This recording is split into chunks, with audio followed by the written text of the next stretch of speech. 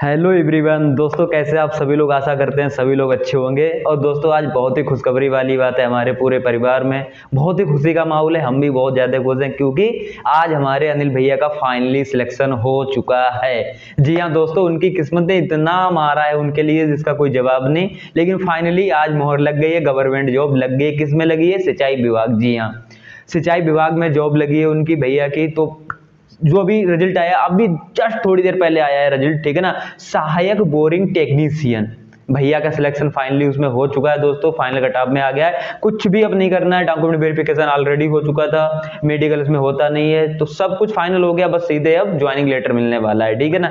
मेरे हिसाब से आठ दिन में ज्वाइनिंग लेटर मिल जाएगा, आठ से दस दिनों के बाद, वो भी मैं आपको बताऊँगा। लेकिन दोस्तों जर्नी जब सुनोगे ना, संघर्ष सुनोगे, कहीं ना कहीं आप लोग खुद सोचोगे क्या गया सच में सर, क्या ऐसी भी किस्मत मारती है? जी हाँ दोस्तों।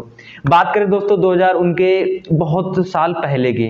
लगभग 2014 से नौकरियों के लिए ट्राई कर रहे हैं। 2014 चौदह से ट्राई कर रहे हैं। आज तकरीबन उनको 9 साल हो गए नौकरी ट्राई करते हुए गवर्नमेंट जॉब की।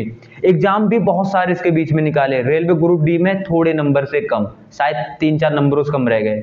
बात करें लोको पायलट की, पहला पेपर निकाला, दूसरा पेपर निकाला, सब कुछ साइको तीसरा पेपर थर्ड स्टेप होती है साइको की। साइको निकाला, लेकिन क्या हुआ? साइको भी पास हो गए। लेकिन जो कहते हैं ना, किस्मत ना हो, काश साइको फेल हो जाते, तब भी जॉब मिल जाती। कैसे? अगर साइको फेल हो जाते तो टेक्नीशियन में गिनती आ जाती। लेकिन साइको क्रॉस होने की वजह से, सब कुछ क्रॉस होने की वजह से, जो नंबर चाहिए थे ए बनने के लिए, उसमें डेढ़ नंबर कम रह गया। अब किस्मत वहाँ पर भी मात कह कोई दिक्कत नहीं। एनटीपीसी फ़र्स्ट पेपर क्रॉस किया। सेकेंड पेपर में, फिर फाइनल में बाहर हो गए। मतलब कि यहाँ तक कि सब कुछ ठीक था। किस्मत में अभी आपको मैं बताऊँ, दोस्तों, कुछ दिन पहले हम लोग गए थे ना कर्नाटक, बेंगलोर, मेडिकल कराने ध्यान है आप लोगों के लिए। जब हम गोवा वगैरह हर चीज़ घूम के आए थे तो हम बता रहे थे ना आपको भैया का मेडिकल कराने आए हैं क्या क्या हुआ है। दोस्तों, पता है, सब कुछ पास होने के बाद, रेलवे ग्रुप भी पास होने के बाद, सब कुछ हो जाने के बाद, मेडिकल में पता किसमें फेल हुए? शुगर में। रीमेडिकल डाल लिया गया शुगर शुगर ज़्यादा निकल आई। 120 से नीचे मांगते थे 126 के आसपास, भैया की 144 के आसपास निकल आई, ठीक है ना? अब मतलब बताओ शुगर में कौन यार फेल करता है मेडिकल में?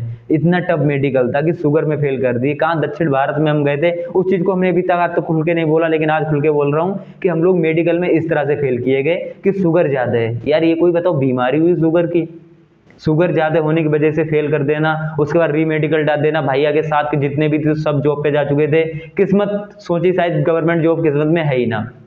दोस्तों, एक एग्ज़ाम होता है बोरिंग टेक्नीशियन का। पाँच साल पहले 2018 में वैकेंसी निकली थी 2022 में एग्ज़ाम्स हुए 2023 में तेईस में एग्ज़ाम हुए। भैया एग्ज़ाम दे आए आधे मन से बोले, जाए ना जाए, क्या ही इसका करेंगे जाके? एग्ज़ाम की तैयारी तो है नहीं। एग्ज़ाम दे आए और फाइनली दोस्तों, उसकी आज रिज़ल्ट भी आ चुका है, ठीक है ना? उसमें ही नंबर आया जिसकी ना कोई तैयारी की। मतलब कि सब कुछ होता तो वही है सिलेबस आप भी जान रहे हो। जिसमें कुछ नहीं किया, जिसका कोई मनी नहीं था, उसमें जॉब लगी है, वो भी सरप्राइज़ सोचो पहले दोस्तों यानी कि संघर्ष करते करते इतना ज़्यादा संघर्ष। उसके बाद भी दोस्तों मैं आपको बता दूँ, भैया की किस्मत और कितना मारा है। यूपी टेट सी टेट सब क्रॉस है क्योंकि बीएड कर रखा है। लेकिन क्या हुआ? बीएड ही बंद कर दिया। अब बताओ, मास्टर का सपना था फाइनली वो भी छूट गया। अब उनतीस तीस साल एज भी हो चुकी है।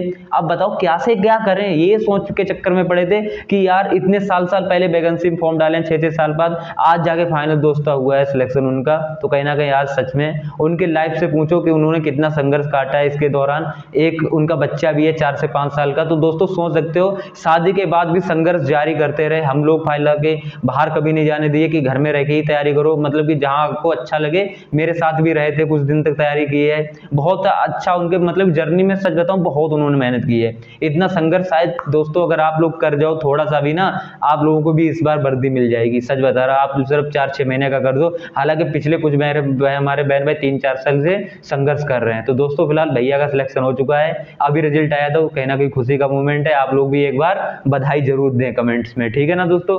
फ़िलहाल मिलते हैं नेक्स्ट वीडियो में, तब तक के लिए थैंक यू जय हिंद। और हाँ भैया का चैनल भी है, ठीक है ना?